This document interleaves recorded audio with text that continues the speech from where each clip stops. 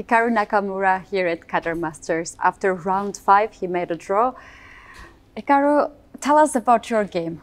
Yeah, I mean, the game was not very interesting. I mean, my, my opponent, uh, Sindarov, spent a lot of time in the opening trying to come up with um, maybe a new idea against this dragon setup, which I, I, think I used many years ago against Anish. But I mean, already, I think when I played that, um, Sindarov, I mean, he's like 18 or something. He's probably like five or six of the time. So, I mean, it was a very long time ago. Um, and I think, I mean, the game followed my file basically to the end pretty much. So I didn't really have to think at all except for maybe one move um, to play this rook c5. But I mean, there, there wasn't much for me to think about in my opponent, the white pieces. So it's not, not a bad result for me to draw the game.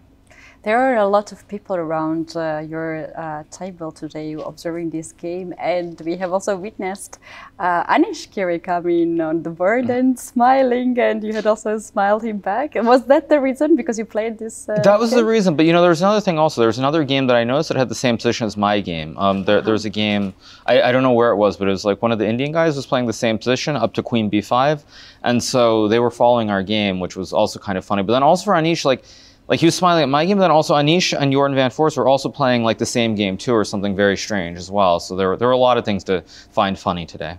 Oh wow! And th that was probably the reason why you have not spent that much of the time, right? You had like more than one hour, right? Uh, right now in the end of the game. Yeah, I mean, again, other than other than when I played a3 and rook b8, I didn't really have to think. I mean, sorry, no, a, a3 and rook c5, I didn't really have to think the, for the whole game. So I was just walking, walking throughout. Um, but yeah, I mean, it's it wasn't very exciting, but that's, that's how it goes. And uh, there was one uh, one moment when your opponent played this c3 move. May I ask why don't you just capture this pawn on c3? I think if I take on c3 and he goes b3, long term it's very dangerous. I mean, I, I, again, for a computer, I'm sure that it, it, it will say it's a draw no matter what you do there. But I thought for a human, uh, baseless c3 pawn is never going anywhere, and then white has this passed b pawn. You can go like rook b1, b4, or maybe rook e4, b4, b5. And again, a computer will probably say that it's it's very easily holding for black, but I, it didn't seem obvious to me, and I mean, there's no reason to take that risk at all. Okay, and what about tomorrow? There's a day off uh, for the chess players. Do you have any plan already?